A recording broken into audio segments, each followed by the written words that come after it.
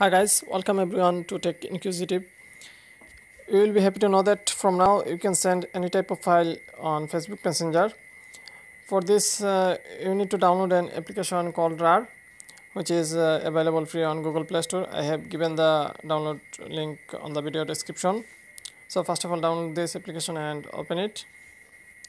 Actually, it is a file manager. Then browse to the file you want to send using this file manager can send any APK file, text file, document file, uh, PDF file or any zip file or any type of file. Uh, first of all select the files you want to send. You can select uh, single or multiple files. Then tap on the top right corner three dot uh, menu option and from here select send. From here you can uh, directly send to any frequent uh, contact of your Facebook Messenger or you can select uh, Messenger.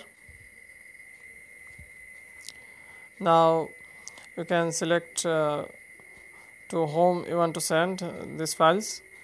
You can select single or multiple contact or you can easily uh, use the search option to find your friend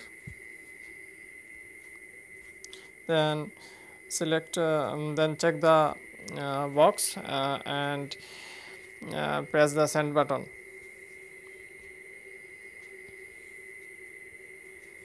And the file will be sent. You can see the file has sent.